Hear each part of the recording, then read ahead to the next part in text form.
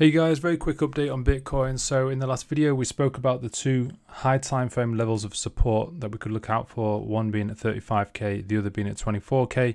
Obviously, that was all in keeping with this being like a bullish continuation pattern here on the daily time frame.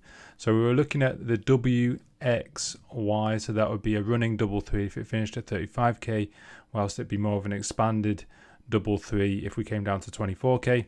So obviously we've had that kind of rollover here down into 35k. We've also got a pitchfork support here at the lower median line, so a bit of confluence here with support. On top of that, we've got a very similar picture on Ethereum. If we pull that up as well, you can see we come down and hit the lower median line of this pitchfork also. So a bit of confluence there on correlating charts, just coming back to Bitcoin.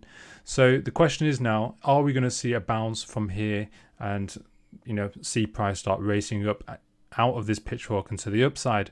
So um, it's a little bit early to tell, but if we zoom in on the hourly time frame, you can see we haven't really got that Elliott wave bounce to suggest that we've got an impulsive uh, reversal to the upside. Okay, so I have seen corrective moves turn into a significant swing lows, but I have to say, looking at this, it looks very much like a bearish continuation pattern, getting ready to make another leg down. Okay, whether that's just another small dip to the downside and then it goes higher, or whether it dips all the way down to 24k, we're yet to see. But right now, I would say it's a case of sitting out, watching to see how things play out.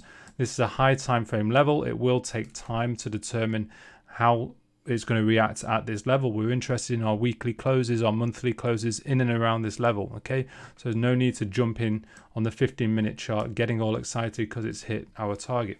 Okay, so yeah, 15 minute time frame. As you can see, there's nothing about this that strikes me as it looking particularly impulsive. Uh, we had here, I mean, this move here, I can only see it as three wave move up. Looks very corrective in my opinion.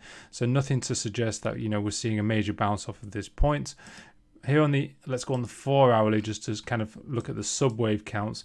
You can argue we've got a one, two, three, four, five.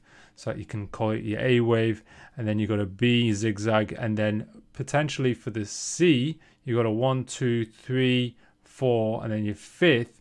And arguably the fifth can be broken down into five waves also. So that could be a one, running flat two, three, and then you'd expect a four and a five. So I am thinking there is the possibility of a small dip down beneath, and maybe for the month we end up closing above this very significant level of 35k, which is our monthly range. Um, and obviously, uh, we've got the um, Camarilla pivots. We spoke about them in the last video. So our weekly Camarilla pivots, we had the we've hit the S3 absolutely perfectly around 35k, and don't forget the lower target is 24k if we lose this level okay? So right now it's a case of just watching waiting to see how things play out. We're looking for an impulsive move to the upside followed by a corrective move down. That will give us a good show of strength but ideally for confirmation of a reversal we want to see price get back above the upper median line. So hopefully we'll see how things play out very soon and i'll hopefully be giving you an update shortly. All right guys take care